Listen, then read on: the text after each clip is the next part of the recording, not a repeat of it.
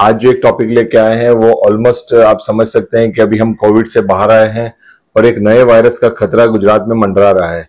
काफ़ी स्टेट्स भी हैं, पहले ये महाराष्ट्र से शुरू हुआ था और अब इस बार जो है वो गुजरात के अंदर भी काफ़ी केसेस आ रहे हैं। इस वायरस का नाम है चांदीपुरा वायरस चांदीपुरा एक जगह है जो महाराष्ट्र में है, जहाँ से सबसे पहली बार इसका बहुत सारे सिम्टम आए थे और हमने डायग्नोज किया था। इस वजह से इसका नाम चांदीपुरा वायरस पड़ा हुआ है। ये एक आरएनए वायरस है। और जो बच्चों को ज़्यादातर इफ़ेक्ट करता है, जो दो ढाई साल से लगा के पंद्रह साल तक के बच्चों को ये इफ़ेक्ट हो सकता है। इवन यंग भी मतलब एडल्ट है, जो बड़े हैं, वो भी इसमें अफेक्ट हो सकते हैं पर ज़्यादातर बच्चे पंद्रह साल की उम्र तक जो होते हैं, वो इसमें अफेक्ट होते हैं।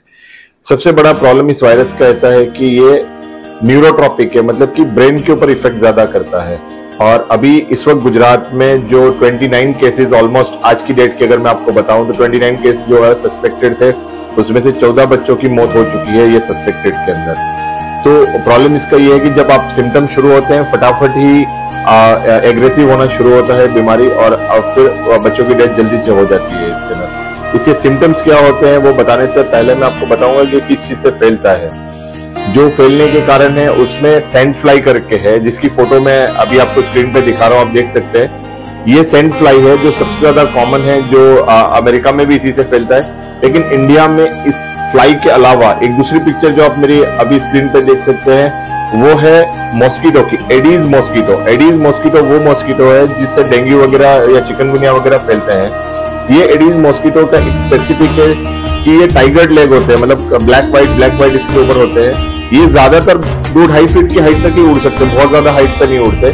ये फ्रेश वाटर में रहते हैं। मतलब आपके घर के अंदर कभी आपने देखा कूलर है, उसमें पानी भरा हुआ है, या कोई टायर है, कोई पुराने बर्तन पड़े, उसमें पानी भरा हुआ है आजकल के। ये गंदे पानी में ग्रो नहीं करता है। तो ये एडीज मॉस्किटो या सेंट फ्लाई की बाइट की वजह से फैल रहा है। और इस वायरस से बच्चे, जो मैंने आपको पहले बता दिया, दो साल से पंद्रह साल के बच्चों को ज़्यादातर हो रहा है। सबसे पहला सिम्टम होगा हाई ग्रेड फीवर बहुत तेज बुखार होगा बच्चों को। इसके साथ साथ बच्चों को बॉडी एक बहुत ज़्यादा रहेगा लूज मोशन हो सकते हैं। और सबसे इंपॉर्टेंट है उनके ब्रेन पे इफ़ेक्ट होता है। जब ब्रेन पे इफ़ेक्ट होना शुरू होता है तो, या तो बच्चों को खेच आ सकती है। मिर्गी का दौरा पड़ सकता है जिसको अंग्रेज़ी में शीजर बोलते हैं वो हो सकता है।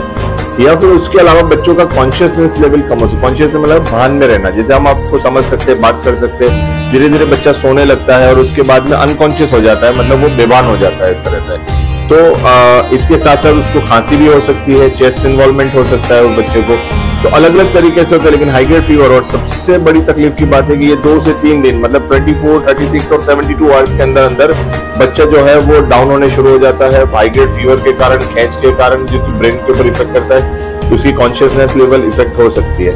तब आपका क्वेश्चन आएगा पहला तो मैंने आपको समझा दिया कि ये वेक्टर मतलब जो फैलाता है वो या तो एक सैंड फ्लाई हो सकती है या एक एडिज मॉस्किटो हो सकता है।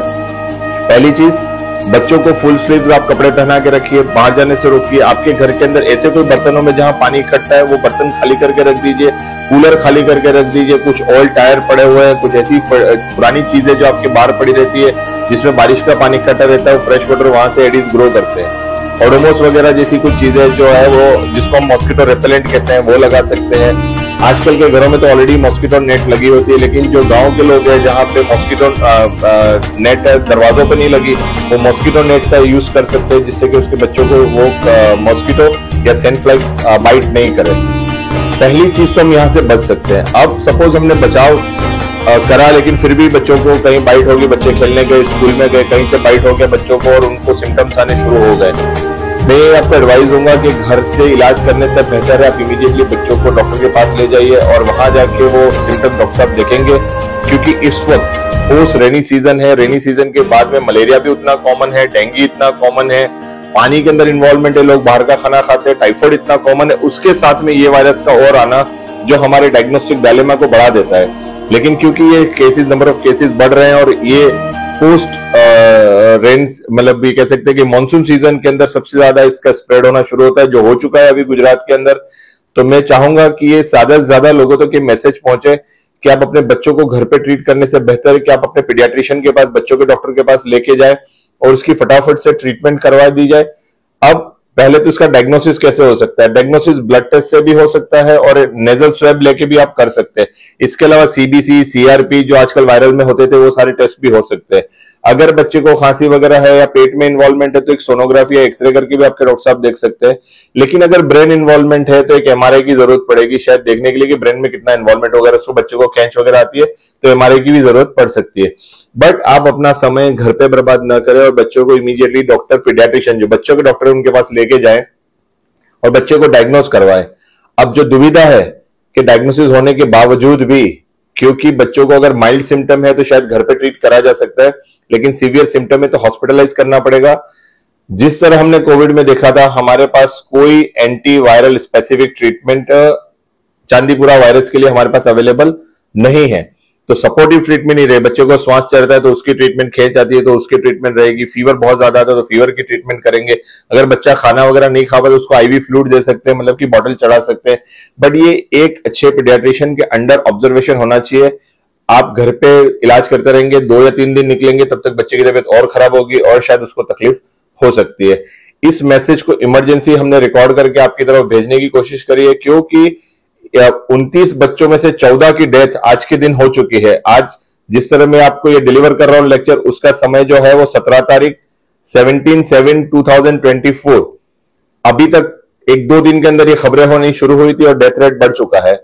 तो जो छोटे बच्चे हैं, दो से पंद्रह साल के, डायरिया है, कफ है हाईग्रेड फीवर है बॉडी एक है हेडेक है, उनको शीजर आते हैं, उनका मेंटल स्टेटस जो ड्राउजीनेस बोलते हैं या अनकॉन्शियसनेस ऐसा हो रहा है तो आप इमीडिएटली डॉक्टर के पास प्लीज़ लेके जाइए, उसके रिपोर्ट्स करवाइए और प्रॉपर ट्रीटमेंट लीजिए और अपने बच्चों की प्रॉपर सारवार से बच्चों की डेथ जो है या बीमारी है, उससे आप बचा सकते हैं। Thanks a lot for passionate listening आप इस तरह की हिंदी में वीडियोस देखने के लिए हमें सब्सक्राइब कर सकते हैं और कमेंट भी कर सकते हैं। अगर आपको वीडियो में कोई इंप्रूवमेंट चाहिए, आप लिख सकते हैं हमें। आप किसी स्पेसिफिक टॉपिक पे चाहते हैं कि हम वीडियो बनाएँ हिंदी में, वो भी आप हमें मैसेज कर सकते हैं। धन्यवाद।